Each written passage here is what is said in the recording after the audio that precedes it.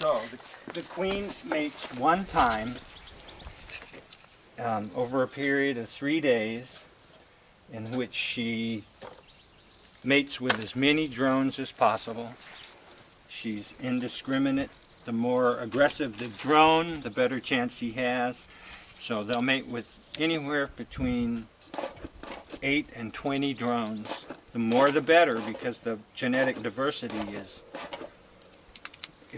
better and if she's mated with that many drones the chances are real good that her spermatheca is full and that she'll be productive over her life. So the drones aren't just necessarily from her hive, they could be coming from all over. They're probably not from her hive. Um, the, yeah, they come from all over to these, what they call, what is called a drone congregation area. Where it's at, who knows?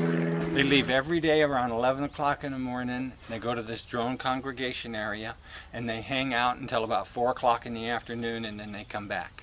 It's like going to a bar and picking up chicks. You never know what's going to happen. and you get the Africanized drones that are more aggressive than the European honeybee, then the chances are they're going to mate with the queens more often and better. So is it that they smell the pheromone from the queen bee Oh yeah. to attack her or oh, to mate see, with her? yeah, they They seek out the pheromone when she's up in the air? Yeah, and that's what she's there for. The, the trouble is, is the absolute second that they mate, he breaks apart in half and dies.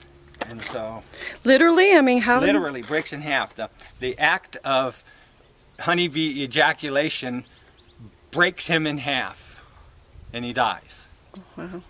So that's why they say the life of a drone isn't all that great.